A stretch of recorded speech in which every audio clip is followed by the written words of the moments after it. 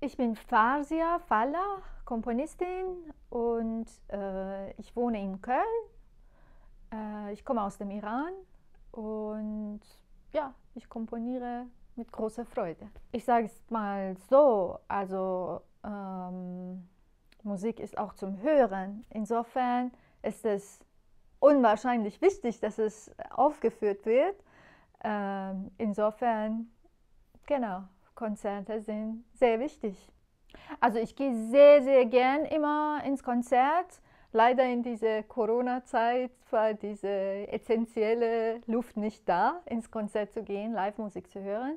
Aber generell gehe ich ganz, ganz oft ins Konzert, äh, verschiedene Konzerte und das ist immer, immer so, also wunderbar. Also da sitzen, hören, kreativ denken, genau. Also ist für mich immer sehr wichtig. Also ich arbeite sehr, sehr gern mit verschiedenen Musikern.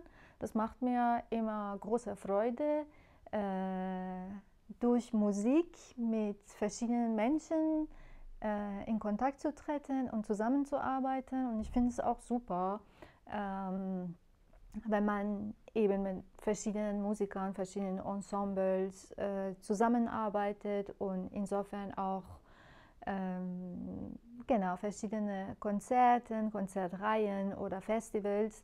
Ähm, eben der Reiz liegt für mich darin, dass man durch die Arbeit mit verschiedenen Menschen, verschiedenen Ensembles, verschiedenen Musikern, verschiedenen Konzerten ähm, eine breitere Denkhorizont hat. Ich bin äh, Mitglied von Kollektiv 36 Köln. Äh, wir sind ein Kollektiv von Musikern und Musikerinnen und Komponistinnen und ähm, wir arbeiten immer an total äh, verrückte Ideen und äh, wir äh, geben alles äh, dafür, dass wir dann diese Ideen auch realisieren. Wir haben auch immer wieder Geste, was wir dann wunderschön finden, dass wir dann eben auch auf diese Weise mit anderen kooperieren können. Ähm, zudem bin ich auch Mitglied von äh, Tritonus Verein zur Förderung zeitgenössischer Musik.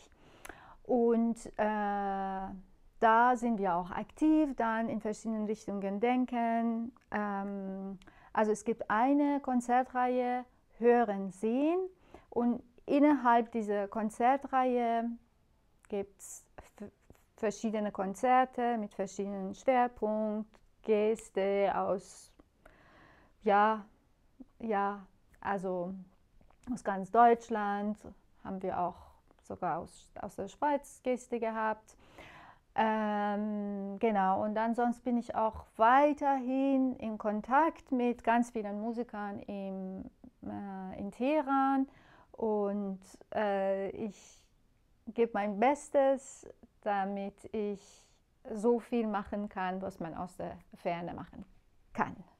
Also auf jeden Fall muss ich erwähnen, dass ich, äh, dass ohne Ali Reza Mashayechi ähm, würde ich auch wahrscheinlich keine Komponistin werden. Insofern, das heißt, ähm, also die Motivation kam überhaupt durch ihn.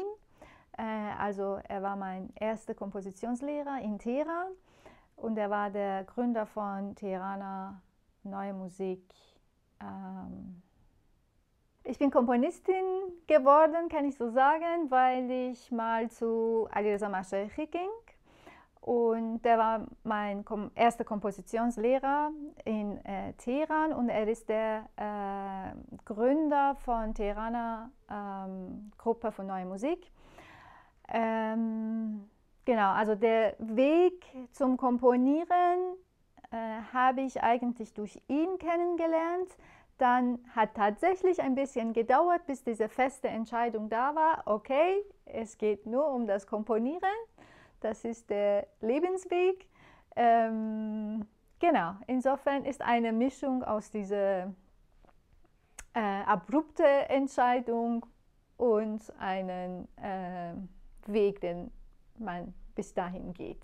Wie ich gesagt habe, ich wohne in Köln, aber gerade darf ich äh, die wunderbare Musikszene von Frankfurt auch erleben, weil ich gerade die Stipendiatin von ähm, Archiv Frau und Musik bin. Das ist ein Stipendium in Kooperation von Archiv Frau und Musik und äh, Hochschule für Musik und Darstellende Kunst Frankfurt. Und ähm, genau, also es gibt mir auch große Freude, jetzt einen Blick zu bekommen äh, in das Archiv und was alles da als Bestand gibt und was alles bis jetzt gemacht wurde und ähm, alle wunderbaren Projekte, die dann da initiiert werden und laufen. Und auch freue ich mich sehr durch diese Gelegenheit ähm, mit den tollen Studierenden der Hochschule zu arbeiten.